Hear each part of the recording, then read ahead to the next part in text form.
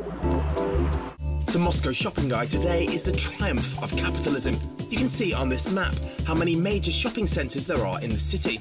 Catering for all price brackets, Moscovites were born to shop. It's just that for a long time, there wasn't anything to buy. Different century, different story. Moscow's most famous shopping gallery is GUM, which stands for State Department Store. The shop bears little resemblance to the 19th century stalls of GUM's early days. Today, designers such as Armani, Calvin Klein, and their Russian counterparts fill the lavish building. Sparkling new malls like this really do act as mini cities. And such gigantic Western imported complexes have been welcomed with open arms in the capital, taking into consideration Moscow's extreme temperatures and traffic problems.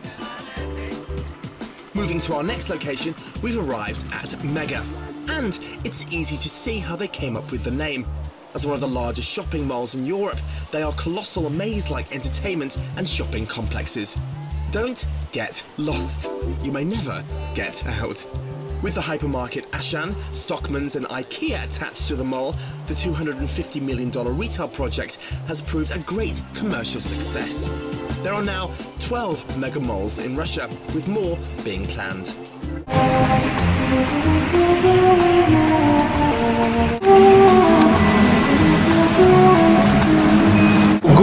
department store. And what does GUM means? That's главный универсальный магазин. If literally to translate it to English, that's main universal store. And it's the name for the main uh, department stores in uh, many cities of the former Soviet Union. And the biggest and most known, most famous one is here in Moscow, right where we are now.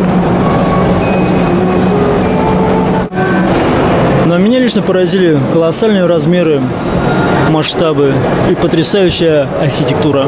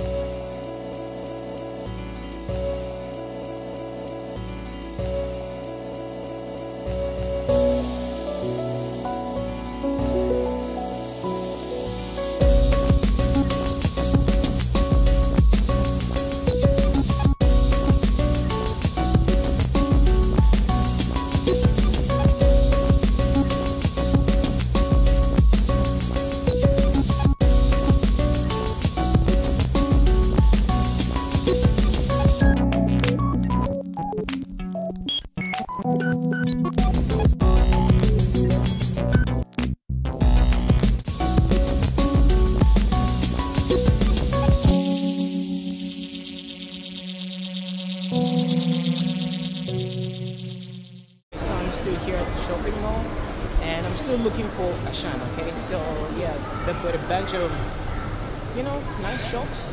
Everything is nice. So yeah. So we need to get over to Auchan and get those groceries.